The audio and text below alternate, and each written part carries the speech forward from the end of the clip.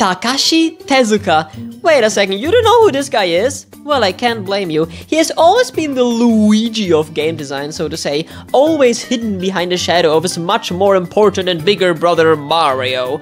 Well, actually, that being Shigeru Miyamoto in this case, everyone knows who Shigeru Miyamoto is. He's the guy that created Mario, Zelda, he's a living legend. But Takashi Tezuka is just as important as Miyamoto, but no one ever talks about him. Mamma mia, come on, talk about talk about Takashi Tezuka as well. He's an amazing game director. He has worked either as director or producer for so many first party Nintendo games, like almost every Zelda game, from the first Zelda to Link's Awakening to Ocarina of Time. He is the art director of Super Mario. He created Yoshi and the Boo enemies and so much more. Like, if Mario is what it is today, if it looks what it looks today, then it's all thanks to this amazing man.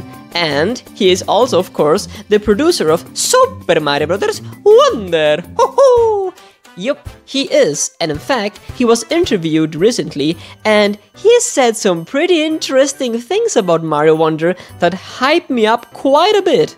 An interviewer from IGN asked Takashi Tezuka where did the idea for Super Mario Bros. Wonder start, and Takashi Tezuka replied, when we were thinking about creating this new 2D Mario, there were two concepts that we held. The first concept is the freedom to choose, and the second one is the idea that it's packed with secrets and mysteries. And this idea of secrets and mysteries, I think the original Super Mario Bros. was exactly that, but as we continued to create Mario games, this idea of secrets and mysteries started to become standard or something expected. That was a challenge that we saw, and so in order to overcome this challenge, there's something we tried. What we did was, in Mario games, you know when Mario goes down a pipe, you can go to the underground area, or if he climbs the vines, you can go to the sky area.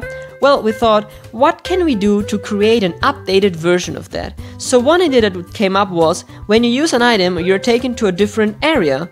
And so, when we created a prototype, we thought, well, even if you're just taking the item, you're transported to somewhere else. That's the same.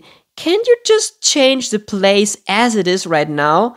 When I heard that, I said, Let's just go all the way. Let's just change the entire screen. So that's where we ended up testing out ideas like the warp pipe squiggling around, or the entire screen tilting and slanting, or having to travel on top of a horde of enemies. And it really was the starting point of Wonder. Now, I think this part of the interview is actually quite interesting because they talk about unexpectancy and secrets. Like, a reason why I find secrets interesting and fun in games is because they lead to something unexpected, something that you will not see coming in a million years, something that you're like, wow, this thing is in the game, wow, I didn't know that. That's the kind of secrets that are exciting, but most of the secrets in Mario game, if you think about it, boil down to just warps. Just, oh, now in I'm in a different world, I guess. Oh, cool, this is a new stage with the same mechanics as the old stages, but it's a new stage. Okay, that's fine.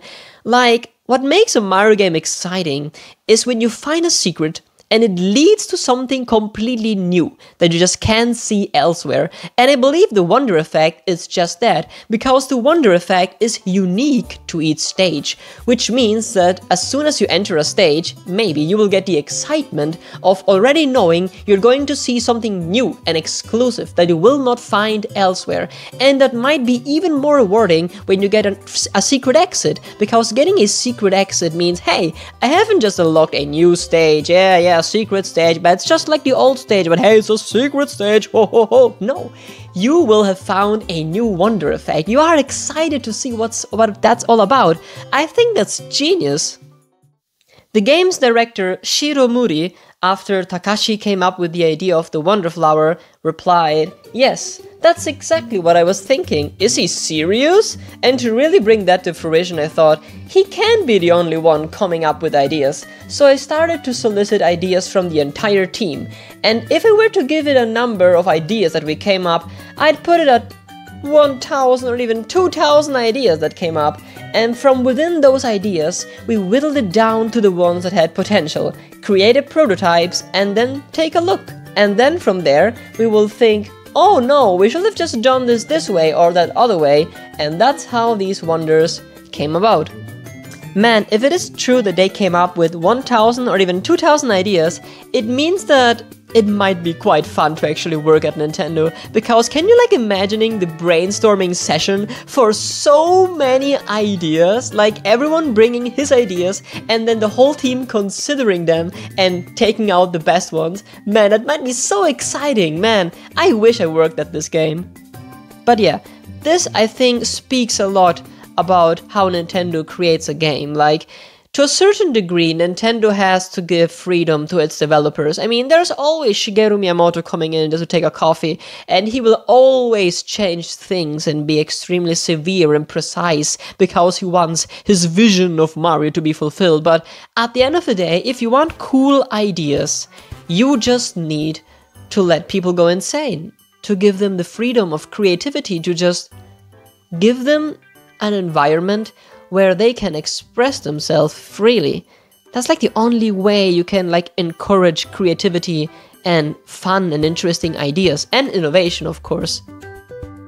Takashi Tezuka then added, I wasn't forcing them to do anything impossible, and at the time we didn't have a deadline for the end of development, so let's do what we can do. And I purposely didn't want anyone to have any sort of negative reaction and say, we don't have the time to do that, so we did not set a timeline.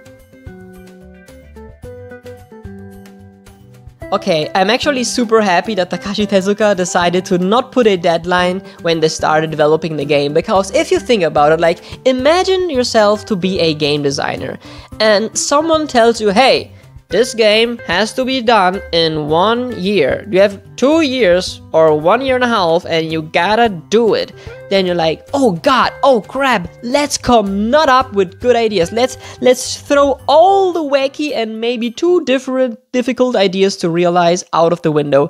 You will be afraid to propose an idea that might take too much time and might be worthless. Like a deadline in terms of time might limit creativity quite a lot, even though Majora's Mask says otherwise. But yeah, if you want to create an environment where everyone can just express his wacky ideas without fearing like any backlash or any or, or anyone tells you, "Hey, what the hell are you doing? Come on, it's too long. That's impossible. What are you talking about?" So yeah, that's the kind of environment you need when you want to go all, all, all creative, all crazy with a game. You just need no deadline, at least in the beginning. Then once everything is decided and you start working on it, then you can start to set a deadline. But the current video game industry is having the problem that games are taking longer and longer to be produced. That's kinda sad. I mean, there are plenty of videos that talk about this issue of games, especially AAA games, becoming too big, too expensive. It takes much more time and effort because technology is, is evolving. So, things studios might do is just use previous assets to create a new game, just like Ocarina of Time, Majora's Mask, Breath of the Wild, Tears of the Kingdom, or just do smaller projects, or if you just want to be like crazy and do it in the worst way possible, you just rush games just for the sake of making games. And I am absolutely not referring to what Game Freak is doing these days. Absolutely not. Like, I'm so sad. Like, Nintendo Switch is such an amazing console. Revolutionary Mario games, amazing Zelda, even Kirby got a 3D game. It's every, every Nintendo series, even Metroid. Like, except Donkey Kong, unfortunately. There are so many Nintendo series that are that just came on the Switch and they blew up in terms of scope, imagination, creativity, ambition. But Pokemon kinda just whoop fell on his knees and now is getting some patches on his knees because it's bleeding and now Game Freak is crying because the Pokemon Company forces Game Freak to make games every two seconds, and that's so sad. But yeah, that's not the case for Mario.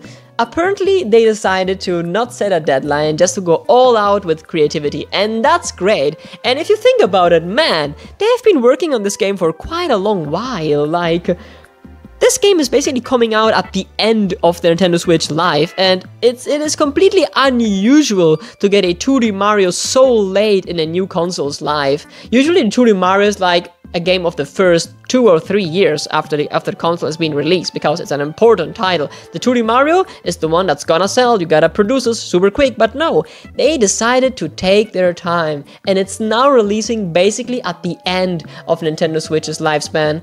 This means I have good hope that this game will be as polished as we can hope it to be, and not a cheap, rash new Super Mario Brothers. So guys, did you already know who Takashi Tezuka is? Are you hyped for Super Mario Bros. Wonder? Do you believe the game will live up to the potential explained in this interview? Or do you think this game will actually fail miserably? Or maybe this game will even become the game of the year, surpassing Baldur's Gate 3, The Legend of Zelda, Tears of the Kingdom, and many, many more. Or maybe no, that will just be a good game and then we'll forget about it. Or it will be amazingly fun and cool and this will be become a classic. I don't know guys, what do you guys think this game will actually be like? Even though it's like coming out in 4 days, so yeah. It's just a matter of seconds. You might be watching this video maybe when the game already released. If that's the case, oh well thank you even though it might be kind of pointless. But it's still interesting to see what happened behind the scenes of this game. So guys, thank you so much for watching this video and don't forget to subscribe to the channel, leave a comment, leave a like and ring the cat bell. Meow meow. Hoo hoo. And yeah, thank you so much for watching. Thank you, Mario, for making the outro. And ho ho, Luigi's here too. Can I say something?